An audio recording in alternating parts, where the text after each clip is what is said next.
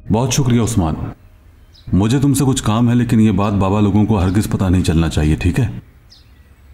हाँ। बात यह है कि मैं सोच रहा हूँ इस्तंबुल में रहने के लिए एक घर ले लिया जाए। हाँ बेगम और बच्चियों को साथ लेकर जाऊँगा। बस ऐसे ही। हाँ हाँ।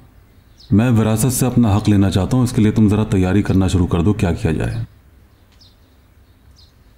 उस, उस्मान देखो तुम मेरे बहुत पुराने दोस्त हो।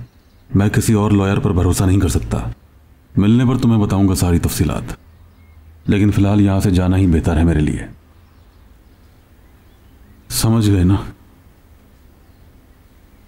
हाँ शुक्रिया, बहुत शुक्रिया। बहुत बहुत शुक्रिया।